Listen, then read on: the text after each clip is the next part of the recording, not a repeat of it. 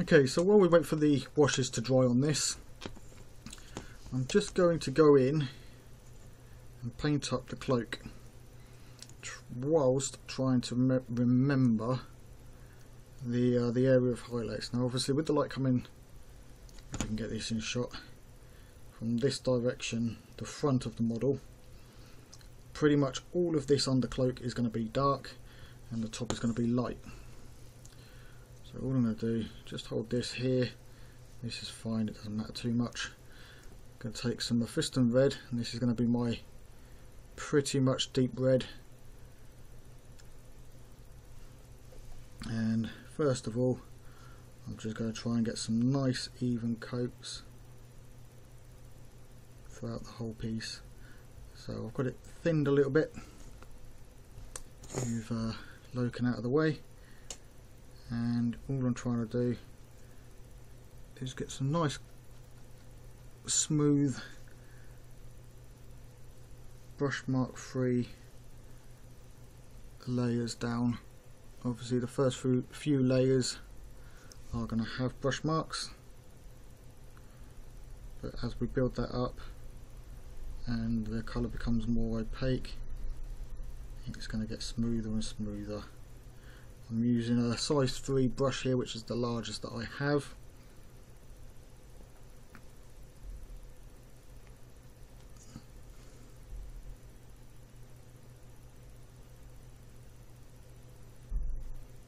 We're just going to build this up. Now the idea is I want this red to be not fully my shadow colour. It's going to be almost my deepest um, my shadow colour is going to be made by adding a little bit of incubi darkness to it. Um, that will be for the underside. The top side however the darkest area will be the Mephiston red with very few places having the uh, the incubi darkness and Mephiston red mix and again. I'm going to build it up with glazes. And get a nice smooth transition between the uh, the colours.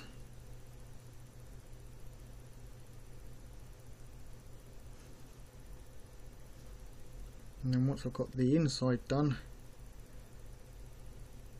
I can then fix it to the model and concentrate on doing the outside. And then uh, we are almost through this model. Um, obviously after doing the cloak fixing it and you know painting that up we'll do Loken's head. And after his head he can uh, be put onto the the main base and have all those final um, effects put in you know um, blood dirt gore um, scorch marks all that kind of stuff all the texturing and that and uh, then we'll be done so slowly getting there I just need to let this dry. I don't use a hair dryer. I don't have a, uh, don't have one at the minute. Um, so yeah, we'll just let this dry, and then we'll go back around and give it a couple of coats.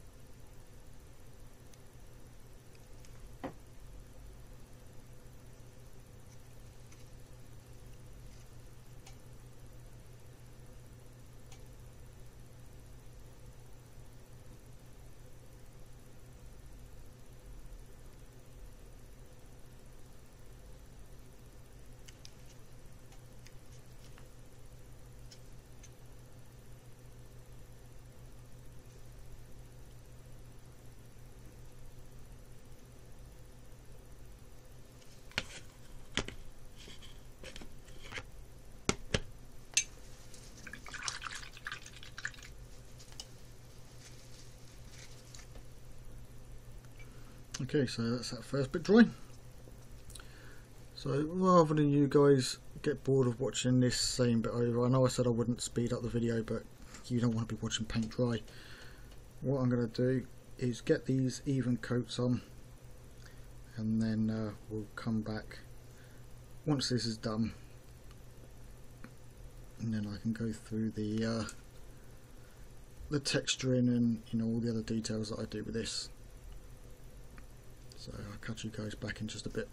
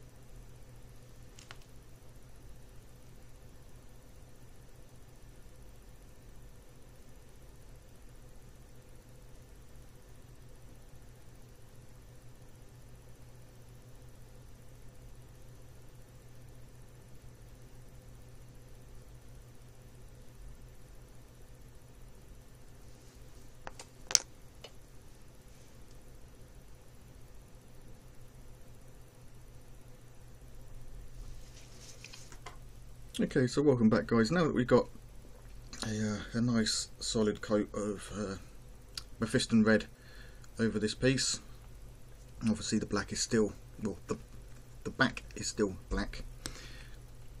I'm just going to now work out where these highlights would be. Now we've got the cape like this, so obviously all of this is going to be the brighter side which I'll do when I come to doing the top side. The underside, we're pretty much looking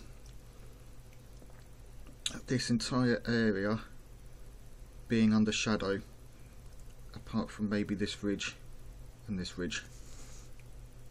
so what I'm going to do for this is, as I said earlier, I'm going to take some Inky Incubi Darkness and some Mephiston Red. That darkness is quite strong actually. um, try and get a nice deep mix. There we go, that'll work. oh dear, excuse me. Alright, so what I'm going to do is start painting this into the recess.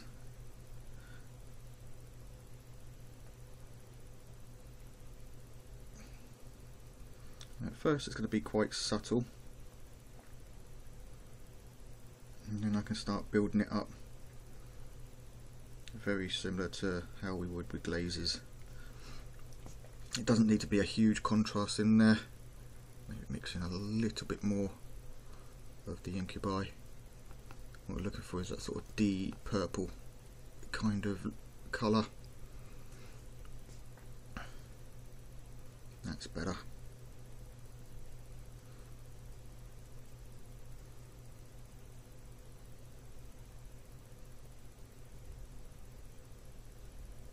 Doing is sort of mapping in a few shadows and then I can go back over this and uh, blend them out with the Mephiston Red. Now obviously this is the darkest area so when it comes to the top here that's pretty much going to be this area under here as well as a little bit just down in these deepest areas here. Then we'll have Mephiston red and then we'll get lighter as we come to some of these areas along here. So obviously just got to let this dry. Now I don't want a huge contrast between them. Um, just a very soft blend into that shadow from this point and then we'll get darker in here. So again we can use it similar to a glaze and uh, build that transition up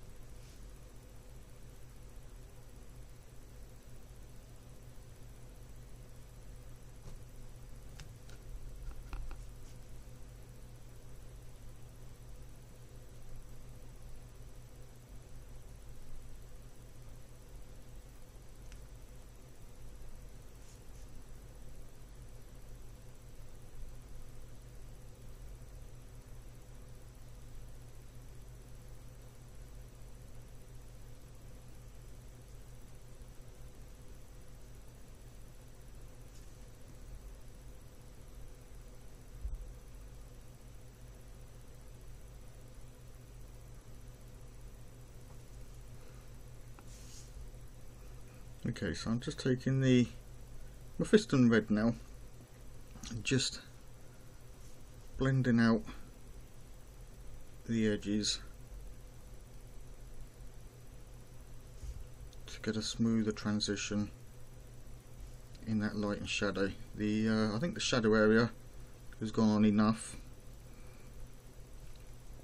Um, that looks pretty okay to me so now it's just a case of blending the two together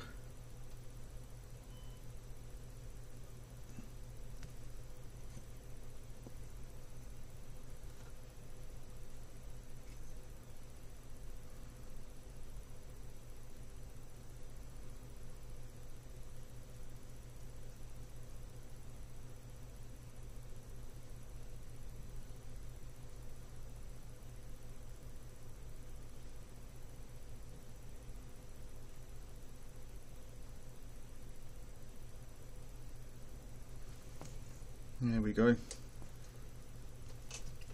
I know on camera that looks like quite a harsh transition between here and here. Um, but it's not quite as bad as it looks.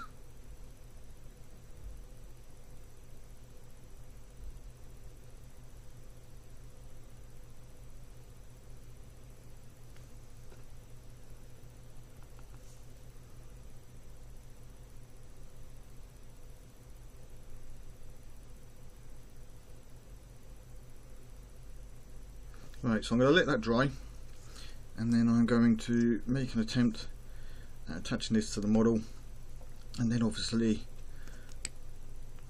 with a little bit of green stuff just sculpt it so that it fits up here and then paint it black and then we can work on doing the top there. So I'll catch you guys in a bit once I've done that. Right, so welcome back guys. So as you can see here, I've gone ahead and uh, attached the cape to uh, Loken and I put in a little bit of putty here and just moulded or sculpted just a little bit of detail there um, just to make it look like it you know this piece is flowing right up to here and then on here just a small piece there. And then obviously I've gone ahead and painted this with Mephiston red just a couple of coats for now to uh, get a relatively smooth finish. Obviously got a few dark spots showing up but as this is going to have more colour put over the top that's fine for now. Alright so before I get started on this obviously I've got to bear in mind that my light source is coming from this direction. And so what's going to happen is this fold here is going to cause a shadow down in here this will be bright and so will in this for the most part. So this is going to be left Mephiston red. This will have a little bit of the Mephiston and Incubite mix in it. And then areas such as this and this large flat area here this large flat area here are all going to have uh, Evil Sunz Scarlet. Now again because the light source is coming from here this area in here is going to be fairly dark. And then as it gets further down it's going to be lighter. And then because we've got this fold here we're going to be a little bit darker in here. So as I said before Mephiston is going to be the darkest colour on top with the Evil Sunz Scarlet and then a little bit of Wild Rider Red to uh, lighten it up. So I'm just going to moisten my brush here soften it up a little bit alright so what I'm going to do first of all is just mark in with a little bit of thin down uh, Evil Sunz just going to mark in the areas that I think would have highlight. So we've got these sort of crease folds little pieces along here. And obviously along this. Now this is just a sketching stage I think along here will and then obviously up top here.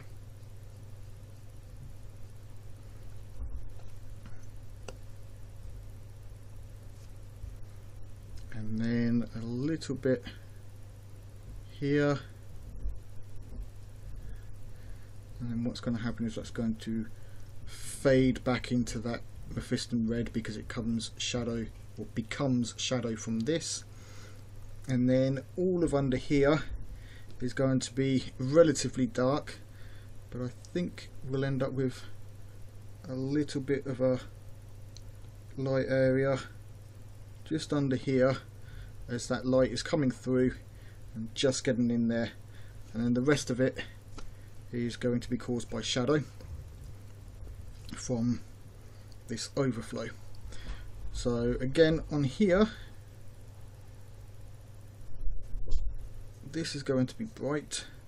Now what's happening obviously is it's folding round.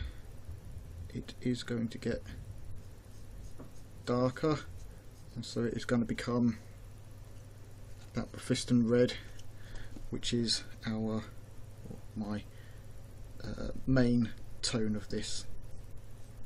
Or my main shadow tone. So what I'm going to do now is build these up again with glazes and then I can bring them back down with Mephiston and it pretty much becomes a sort of backwards or forwards kind of thing between the two to get that right effect.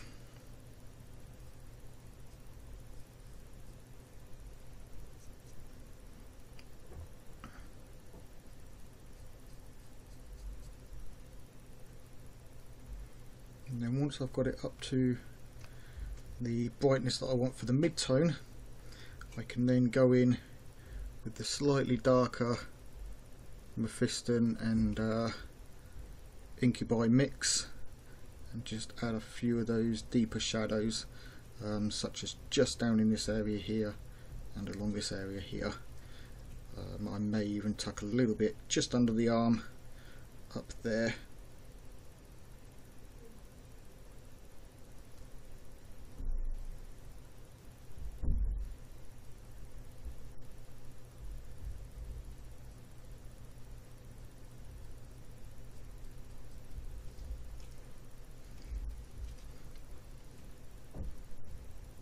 so all I'm doing now is just feathering this off with a damp brush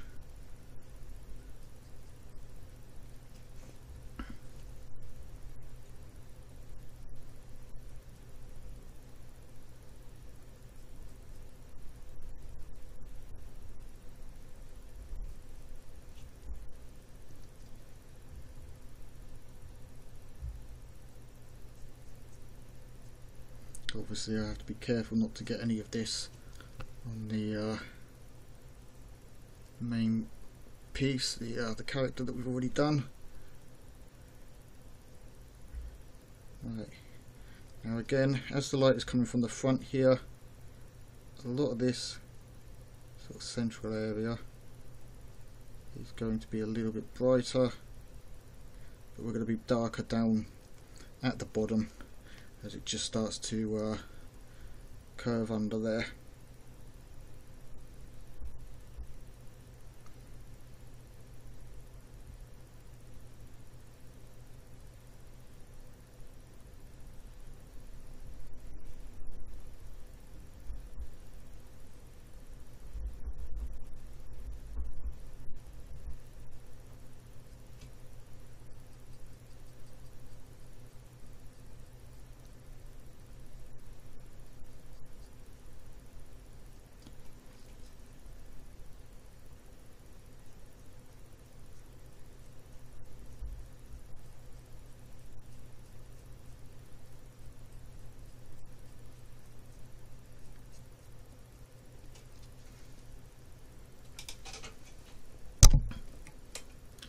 So what I'm going to do is just mix up some of that Incubi and uh, Mephiston mix.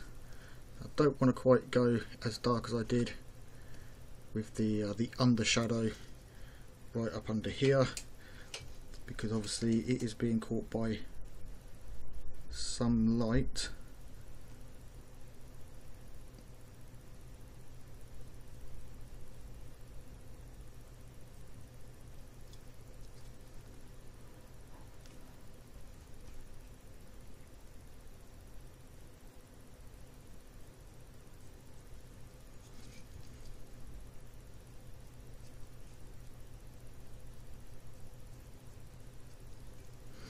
because I can't even see up here, if I uh, flip it upside down, I'm not too worried about getting too much coverage under there with the uh, the dark. And also because obviously this is material that light's going to shine through and make it a little bit brighter under there anyway. Right, so just get some of this up in here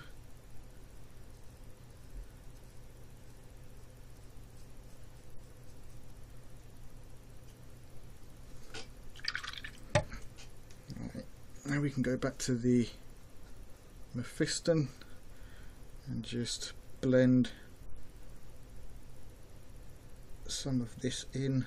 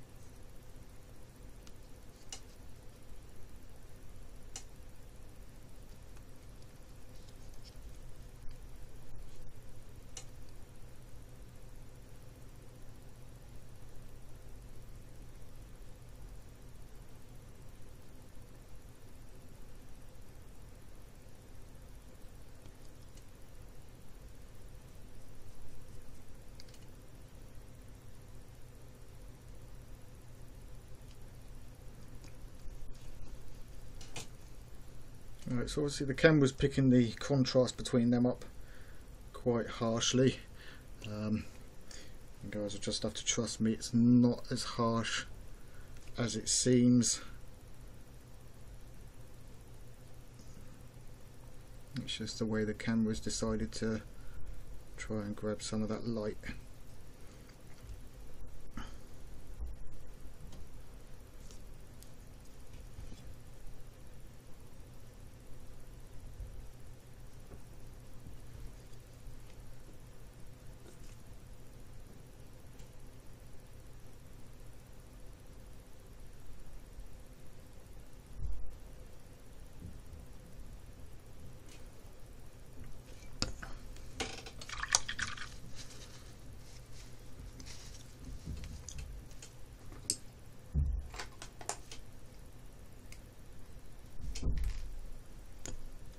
Okay, so what I'm going to do now is mix up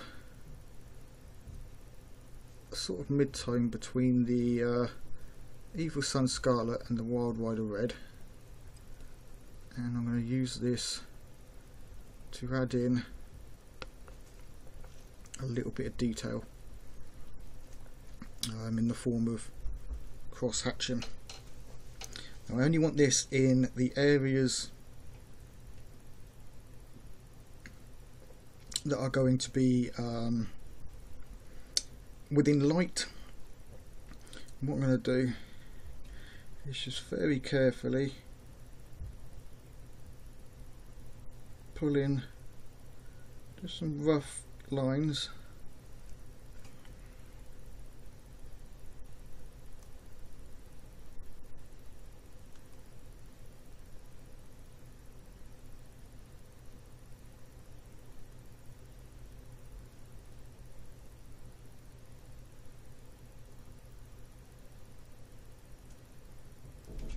and then go the opposite way.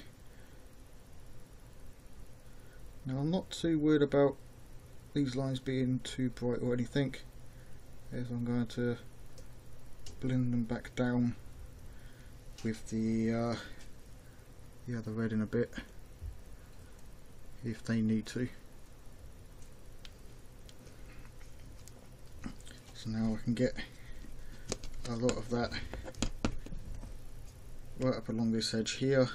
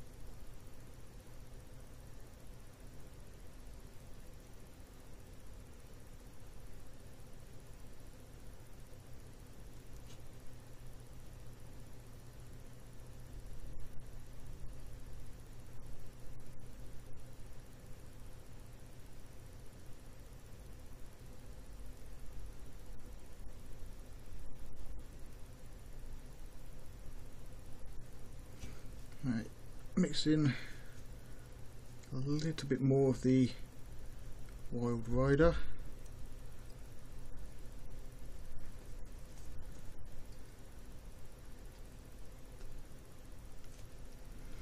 And then go back over those lines, but just in a smaller, more concentrated area.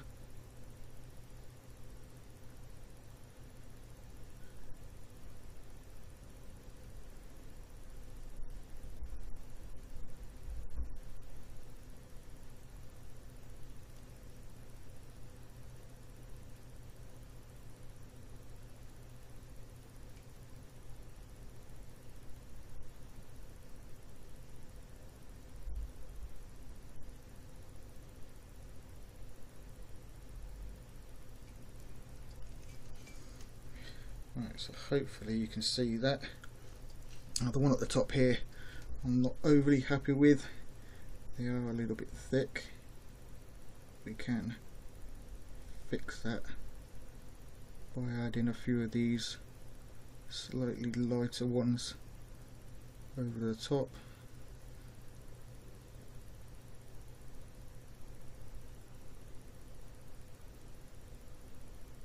And that gives a finer textured look.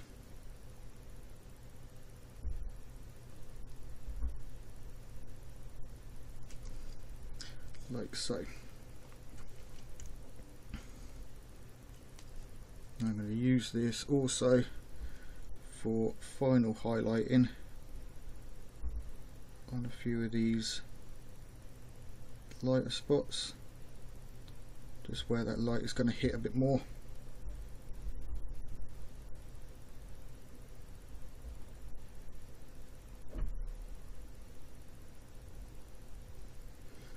not worried about going over the same place multiple times with these um, cross hatching as what will happen is they will blend together.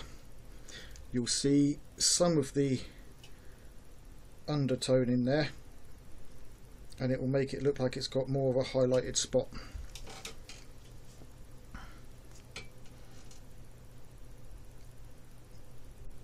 So now I'm just going to pick off some of these edges.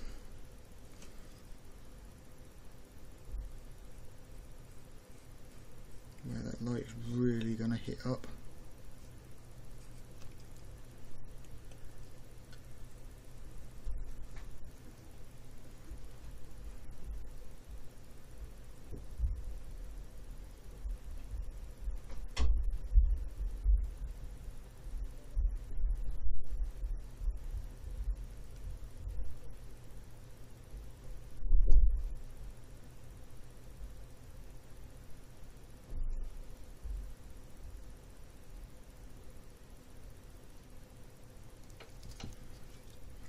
just a little bit of cross hatching just on this edge here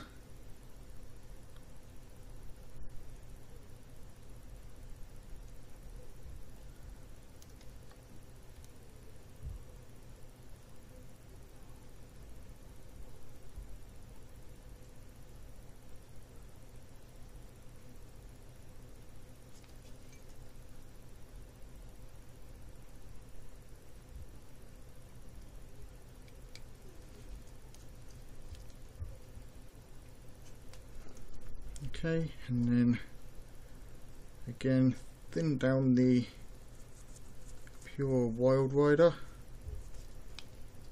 And just on this edge where this light is coming from this direction hitting the top of this and just lighting up this area I'm just going to add a few more finer brighter hatches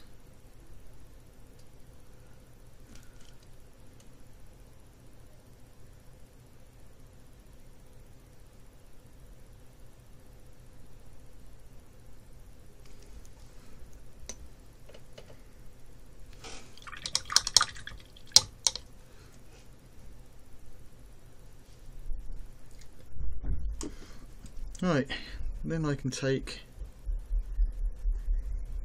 a little bit of that Mephiston red a little bit of that Wild Rider red.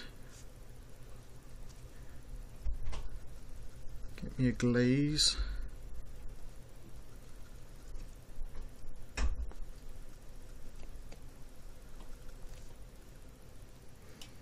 Obviously wick away the excess. And then I can see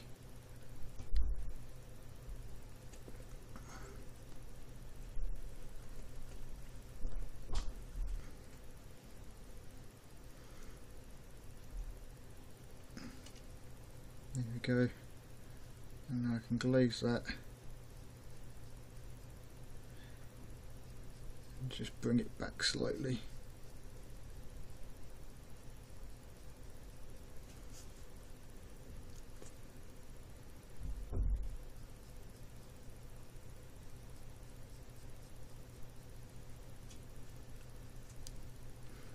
The same with up here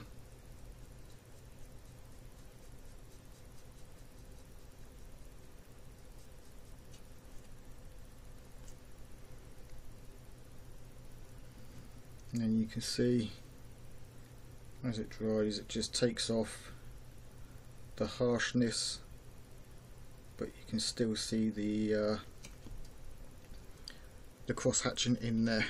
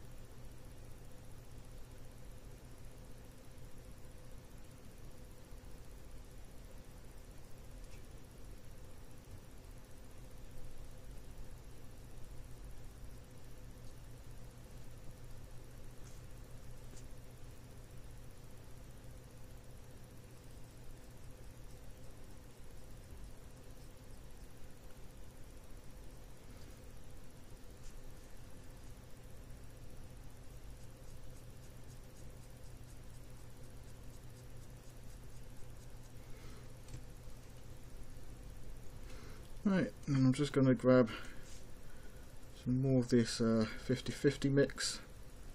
Well, I say 50-50 mix, I mean the mix of the Wild Rider and the Evil Sunz. I'm just going to use this to uh, edge highlight the bottom